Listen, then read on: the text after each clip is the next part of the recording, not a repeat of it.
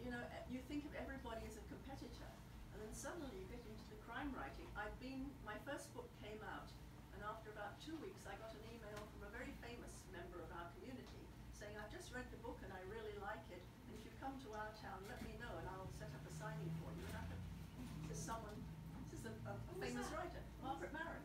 Okay, Yeah. nice. So um, I've always had a soft spot for her Yeah. ever since. But but the fact is that we are a very warm community. Over the years, I've been writing mysteries now for 21 years, mm-hmm. and during that time, I've made some real friendships, not just sort of business friendships, but people I consider my real friends who I would go to in a crisis and say, I need help with this, help me. And I think that's wonderful. We have our conventions when we get together,